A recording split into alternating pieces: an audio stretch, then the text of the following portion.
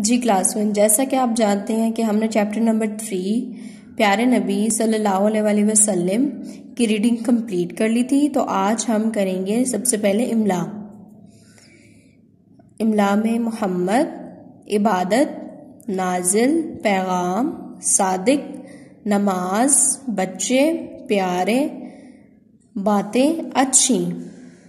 मोहम्मद, इबादत, नाजिल पैगाम, सादिक, नमाज़, बच्चे, प्यारे, बातें, अच्छी।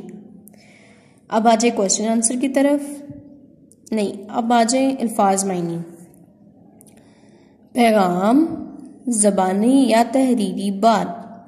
किसी को हमने पैगाम देना, ठीक है? पैगाम मतलब जुबानी बात। अब जैसे हम एक दूसरे को कहते हैं कि तुमने टीचर से ये कहना है, तुमने ये कहना है तो वो पैगाम हो जाता है, ठीक है? सादिक, सच्चा।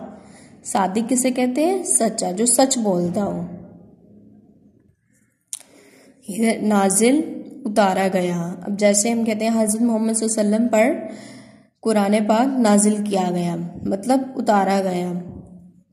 मोहम्मद तारीफ़ किया गया। मोहम्मद का मतलब तारीफ़ किया गया।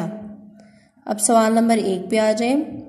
दुनिया को अल्लाह ताला का पैगाम किसने दिया? दुनिया को अल्लाह ताला का पैगाम किसने दिया? हज़रत मोहम्मद सल्लल्लाहु अलैहि वसल्लम ने। प्यारे नबी सल्लल्लाहु अलैहि वसल्लम कहाँ पैदा हुए? प्यारे नबी सल्लल्लाहु अलैहि वसल्लम मक्का मुकरमा में पैदा हुए।